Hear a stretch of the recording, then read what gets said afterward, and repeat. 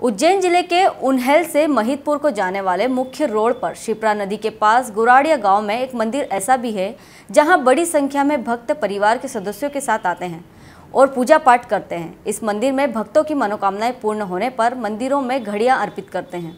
भगवान के समक्ष पूजा पाठ अनुष्ठान करते हैं। इस मंदिर के आसपास बड़ी संख्या में भक्तों के द्वारा अर्पित की गई घड़ियों को देखा जा सकता है।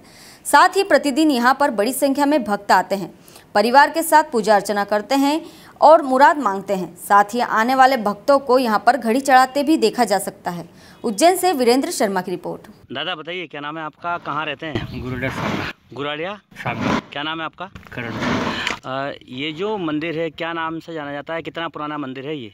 ये कम से कम सौ साल पुरानी होगा अच्छा ये रोड कहाँ जाता है और पुर उन्हें महिदपुर उन्हेल रोड पर? हाँ। गुराड़िया गाँव? हाँ गुरुदेव ये नदी निकली ये क्या नाम है इस नदी का? शिप्रा। नदी निकली। अच्छा अच्छा राज राज? घाट राजघाट है। ये इतनी सारी जो मंदिर पर घड़ियाँ लगी हैं ये किन्ने यहाँ पर घड़ियाँ टांगी हैं और क्या है?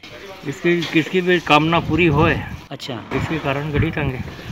तो भक्त आते हैं और घड़ी की मुराद बोलते हैं और घड़ी चढ़ाते हैं यहाँ पर? हाँ घड़ी चढ़ाए नारियल चढ़ाए अच्छा।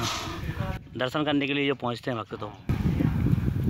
दर्शन करवाना आज घड़ी चढ़ेगी नारियल चढ़ेगी मनोकामना पूरी होने पर? पूरे होने अच्छा। आप कितने समय से यहाँ पर पूजा पाठ कर रहे हैं और कितना पुराना मंदिर मानते हैं? अपना भैया कम से कम तीस बत्तीस साल है। देखते रहते हैं। बत्तीस साल में तो हमारी मोटर लगी अंतर है मोटर ने पूजा करी हमसे। हेलो फ्रेंड्स आप देख रहे हैं हमारा channel S W twenty four news हमारे सारे वीडियो सबसे पहले देखने के लिए आप हमारे चैनल को सब्सक्राइब करें और पास में लगे बेल आइकन को दबाना बिल्कुल भी ना भूलें।